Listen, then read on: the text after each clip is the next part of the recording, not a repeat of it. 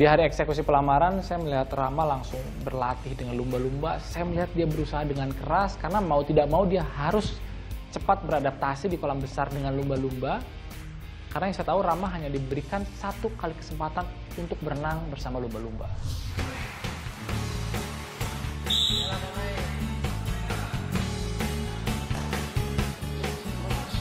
Rehears selesai, tim pun melakukan briefing untuk proses eksekusi pelamaran. Ketika show akan segera dimulai, semua tim sudah bersiap di posisi masing-masing.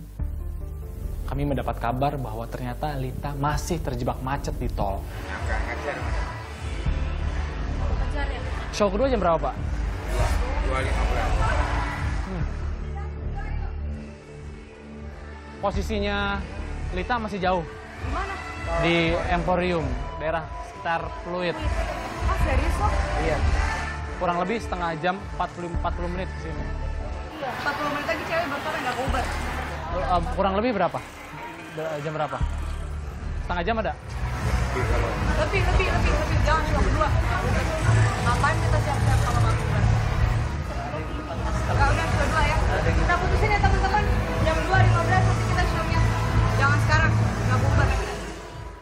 Setelah kami berdiskusi cukup panjang, akhirnya kami semua sepakat akan menggeser eksekusi pelamaran di show lumba-lumba berikutnya. stres banget di situ saya sempat khawatir dan makin gugup karena takutnya eksekusi pelamaran saat itu akan gagal.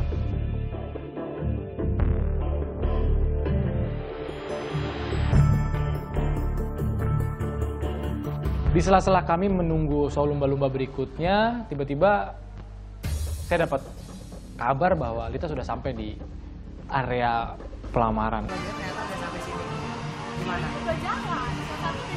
Oke, saya akhirnya meminta salah satu dari tim untuk mengikuti Lita ke mana pun dia pergi di tempat itu.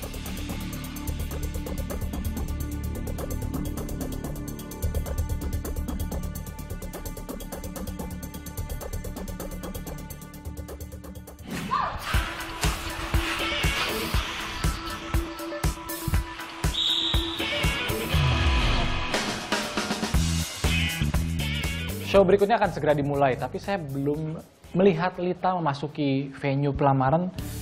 Di situ saya mulai khawatir karena saya melihat penonton sudah banyak sekali memasuki tempat show lumba-lumba.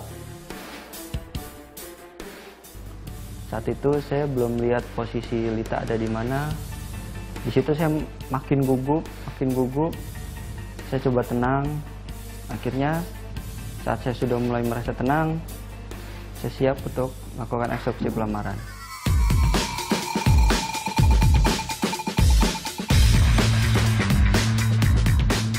Setelah penonton hampir memenuhi tempat show, akhirnya Lita datang dan eksekusi pun kita mulai.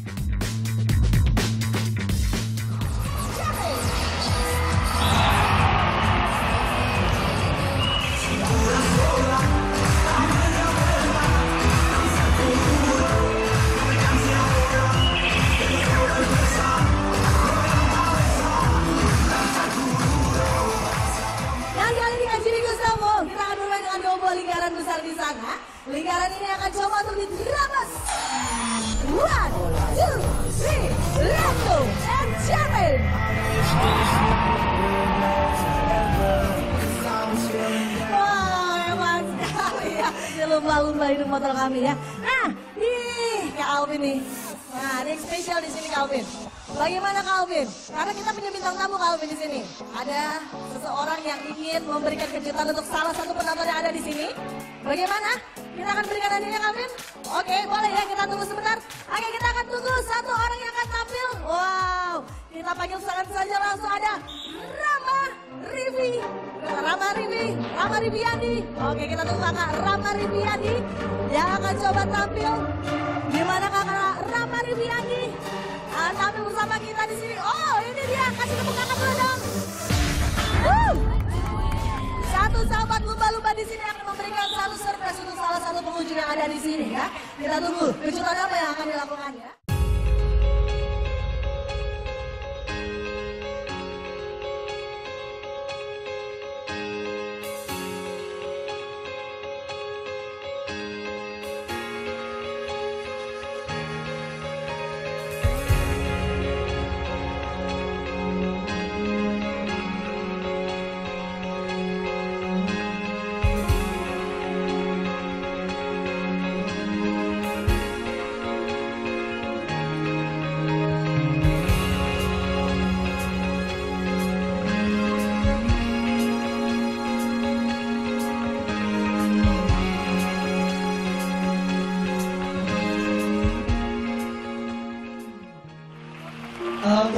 Sebelumnya mohon maaf kalau udah ganggu acaranya.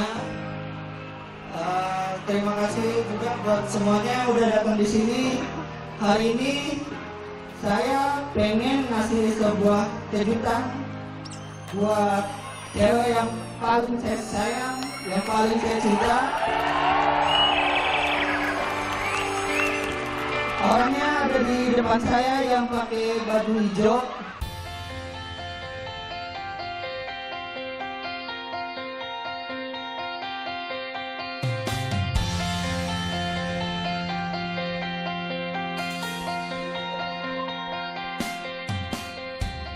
Silahkan deh langsung aja yang disampaikan.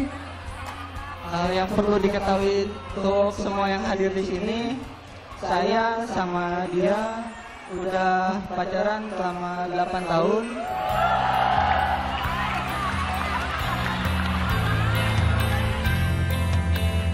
Eh, semua yang di sini tahu kalau kita udah cukup lama pacarannya. Aku juga nggak mau lebih lama lagi. Kita udah tahu suka dukanya masing-masing. Eh, jadi di sini aku mau bikin kejutan buat kamu. Ya, kamu nggak nyangka. Oh ya, aku juga punya sahabat nih yang beberapa hari ini bantuin aku supaya kejutan ini bisa terlaksana. Langsung aja aku panggilin ya. Boy, datang boy.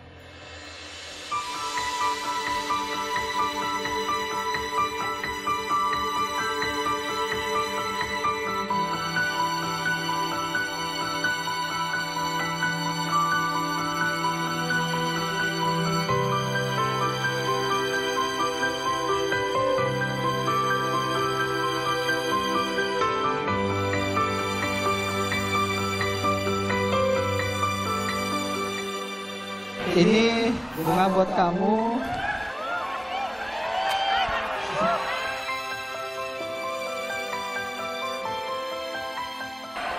Maulita Adriani, maukah kamu menikah dengan aku?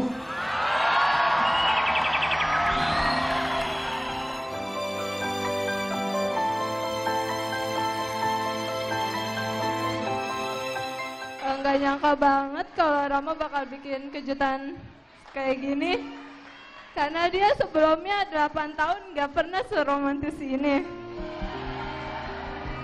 Kasih bunga aja selama 8 tahun itu baru dua kali. Itu juga disuruh dulu. Eh, jawabannya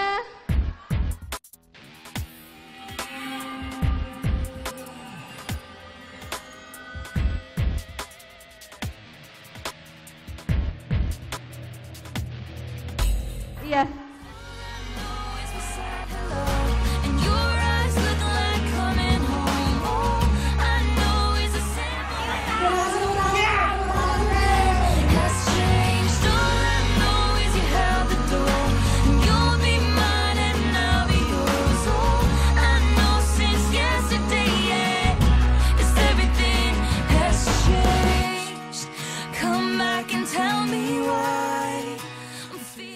Cinta itu adalah sebuah proses, karena cinta hadir dari banyaknya pertemuan.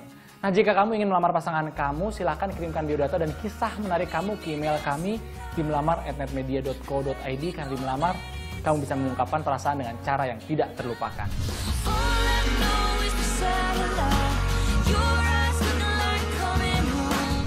Berapa hari kemudian baru mampir, mampir main-main biasa ngobrol sama orang tuanya.